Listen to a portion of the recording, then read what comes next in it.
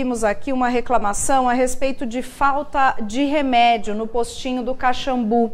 Ah, entramos em contato com a Secretaria de Saúde que informa que os medicamentos citados aí no vídeo, que é o Puran e Dipirona, estão com estoque normalizados na unidade do Caxambu, onde somente o Puran esteve em falta por duas semanas, em decorrência da demora da entrega do medicamento pelo fornecedor.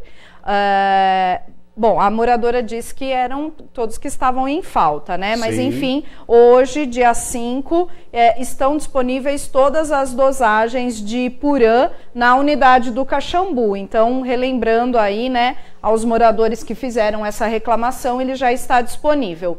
Porém, Neto, um outro medicamento que foi citado nesse vídeo também, da moradora lá do Caxambu, era a falta do omeprazol. O omeprazol, pessoal, ele está em falta devido à falta do medicamento no mercado nacional. Nossa, qual o motivo disso, gente?